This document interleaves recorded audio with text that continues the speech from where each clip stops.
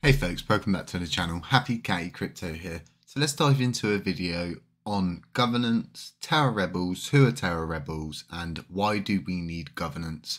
Why do we need staking?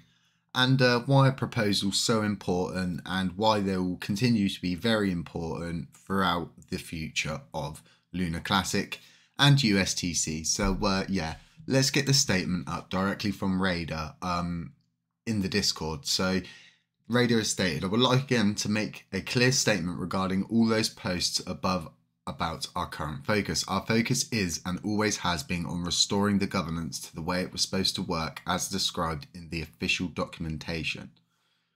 We are, we are including the 1.2% burn tax functionality too because of a pro proposal was made that was passed to do that. Going forward, our focus will be directly directed by the Terra Classic community through future governance proposals that are passed. We will provide assistance to those who are creating proposals to ensure the proposals contain the sufficient detail and clarity that they have that they can be acted on by development. We may also submit our own proposals, of course, for the community to vote on. The clear message is that the Terra Classic roadmap will be governed and defined by the community, not Terra Rebels. And uh, a lot of people are asking me, Jay, who are Terra Rebels? Who are these people? Is it TFL?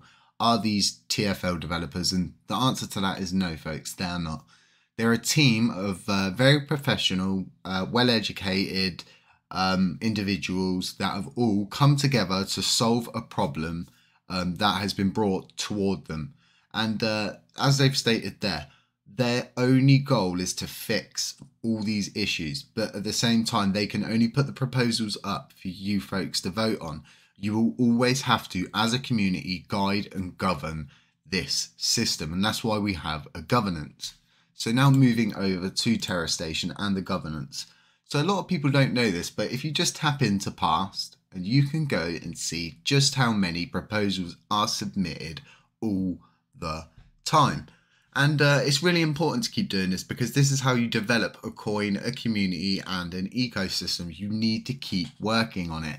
The community needs to be heard. And this is why staking is so important because this brings in everybody. This brings in everything, everybody. You'll be able to stake your coins, to earn more coins, to do whatever you want with them.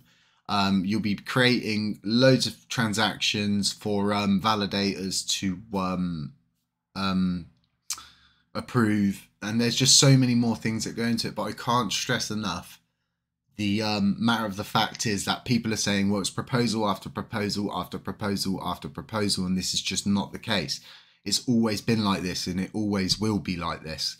Okay, and I, I understand a lot of people are asking when this, when that, when this, and I say go back and watch our previous videos that we're providing here because they really do contain a lot of the information that people are asking especially if you're misinformed, new to the scene, or just haven't heard about us before. It's always good to go back and watch those videos. But um, like I'm saying, as you can see, there's absolutely loads of proposals that get passed all the time and have to be voted on.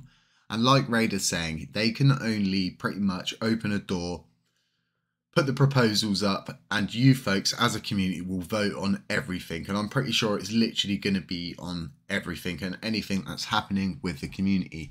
But the main goal is to get the governance restored because without having order in the governance we it just nothing can work. It, we need the governance back online and, and that's it. Everything else comes after that okay folks?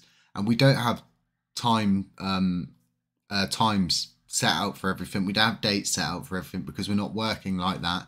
Anybody posting on Twitter saying that, oh, the burn implementation 1.2% tax is in the final stages of testing, its, its release is imminent. And this is the same thing that's happening with Shibarium. People are saying its release is imminent, trying to keep things hyped when they really don't need to, and they just need to tell the truth and let people know where they stand and how long they're in this for.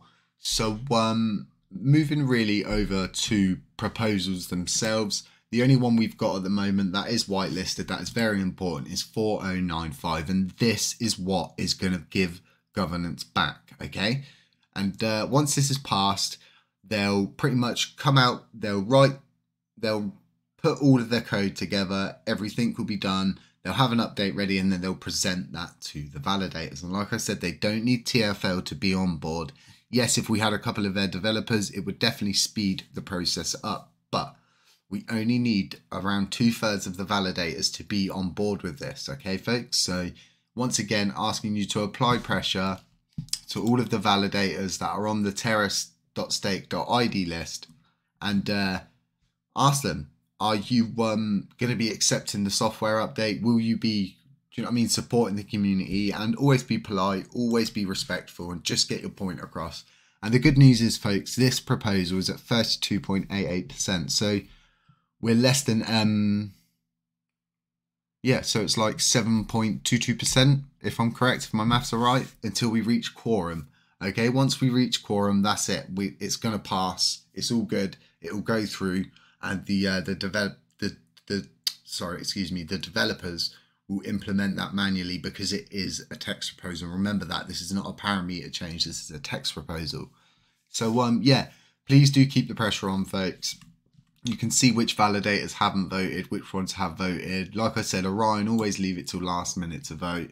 And uh, yeah, stay safe out there. Beware of scammers, doppelgangers, anybody pretending to be me. And uh, yes, not financial advice. Catch you in the next one. Shloop.